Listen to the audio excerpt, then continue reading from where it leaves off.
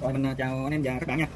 Mình anh em và các bạn đến với ờ, kênh của Chí Vlog nha nè. Thì hôm nay mình sẽ quay cho các bạn xem ờ, quá trình mình gia công cái đầu bò. Đầu bò này đầu bò Thái giống thôi nha anh em. Thì cũng có một vị khách cũng ở xa đó nè.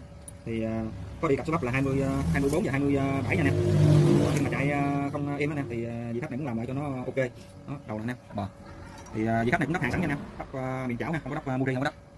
Còn cái lẩu à, gết này cũng có đắp rồi nha anh em. Thì bây giờ mình sẽ Dạ, gia công cái đồ này mời anh em và các bạn uh, xem vô nhé. Thì trước tiên mình uh, mình giặt mặt này nha anh em. Trước tiên mình giặt mình bắt uh, lên giá nha anh em